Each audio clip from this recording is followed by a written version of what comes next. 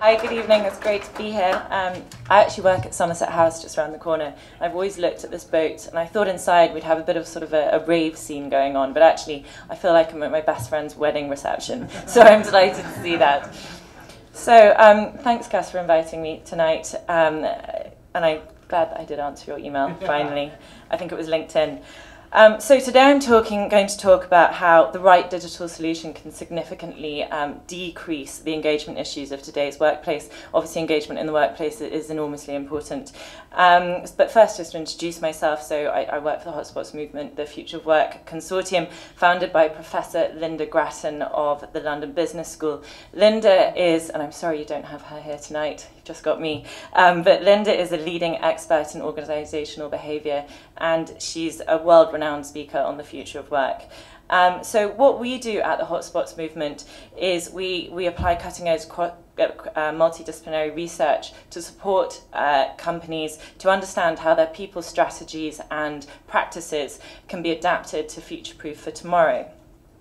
So these are some of the organisations we work with. It's a very, very broad range. As you can see, we've got Shell, Ricoh, Marks and Spencer, MasterCard, Barclaycard, and we even managed to get both PepsiCo and Coca-Cola on our books, which is quite a mean feat to have achieved. We're quite pleased about that. Um, so before I start talking about the digital solutions and how that can really overcome some of these engagement issues, I am just going to set the scene a little bit for, for engagement in today's workplace. Um, and eventually we'll move on to how digital solutions really can and should be used to solve uh, major challenges, global challenges in today's um, work situation. So why am I still talking about engagement? Not a new concept. It's been around for about 30, 40 years. We all know that engagement is massively important.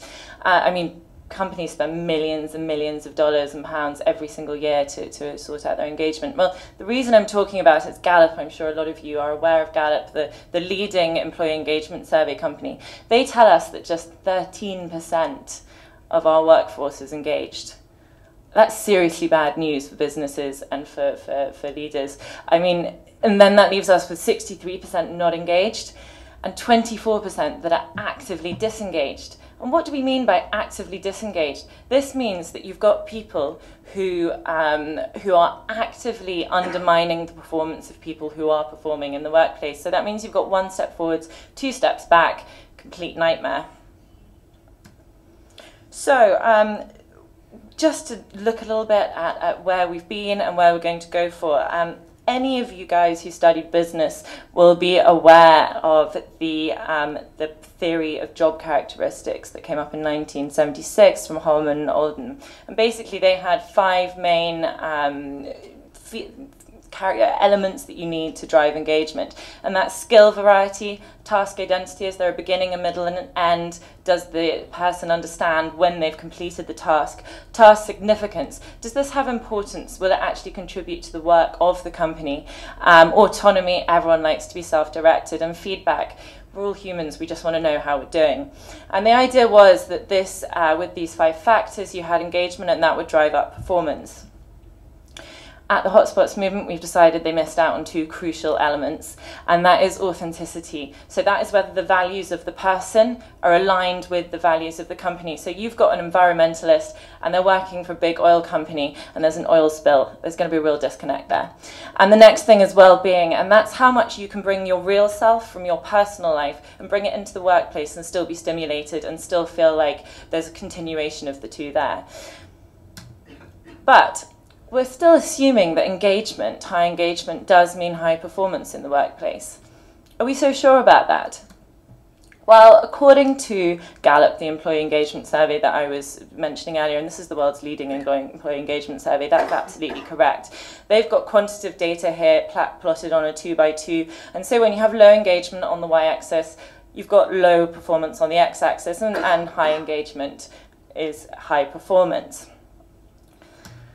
But leadership IQ, and this is qualitative data, so this is a company, a research organization that's gone and actually discussed this with people and had conversations. Because when we're talking about employee engagement, we're talking about human beings.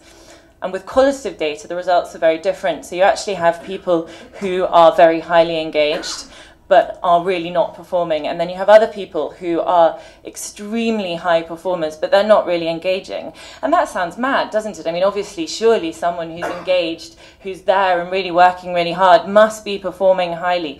Well, unfortunately, that actually isn't the case. We all have colleagues who are there every day, really involved. You look a bit closer, and they're just a bit of a hamster on a wheel, and they're not actually producing anything. We also have, we all have um, employee colleagues who are really one of the experts within the company. They're really well respected.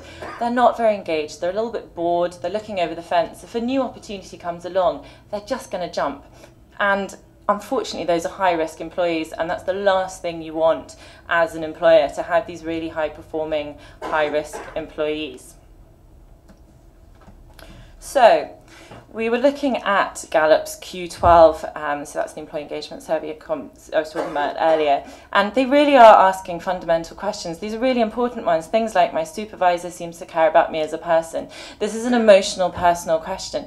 And the problem is, people take the survey and then they head out to lunch or they go down the pub with their colleagues and they talk about the survey and they talk about how it made them feel, um, whether the questions were decent questions or not, the questions that weren't asked, and then also the questions that they're being asked year in, year out, and bear zero relevance on their organisation and their work. And unfortunately, all that crucial data is lost. So, at the Hotspots movement, we've developed an interactive digital platform to have online facilitated conversations.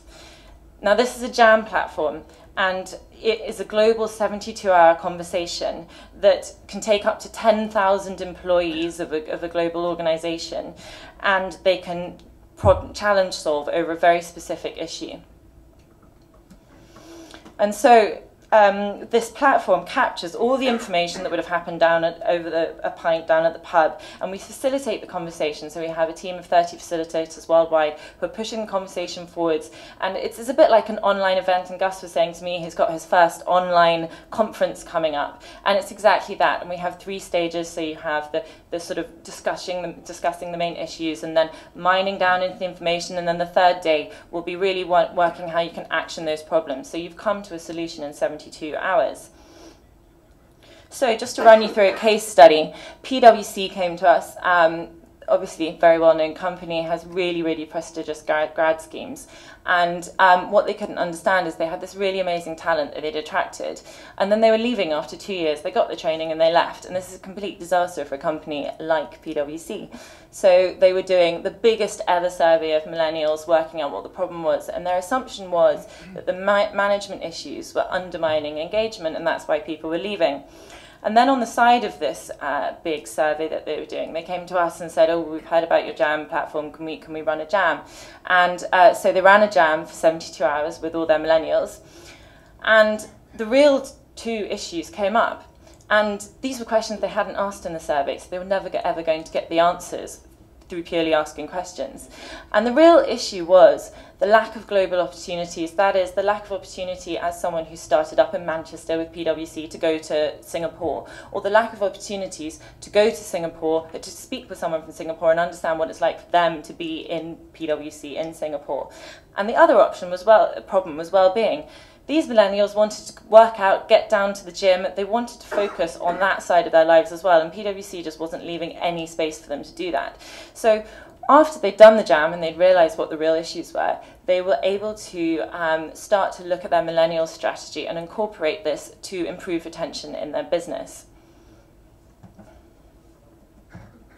So, really, to conclude, what, what I'm saying here is that when you're discussing employee engagement, which is people, and uh, it's important to remember that quantitative data is interesting, but it's not the full story.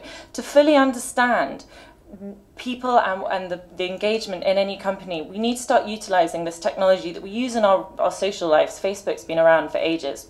Sure. We need to use this in, in our workspace. And with this conversation that's many to many, that means that leadership's no longer just about prescribing, it's about just mobilizing the idea. The idea, while you're having the jam, whilst you're working out what the issue is, you're also driving consensus towards the right solution. So this many-to-many uh, conversation means that you can really gain insight on what's engaging people and motivating them to perform highly.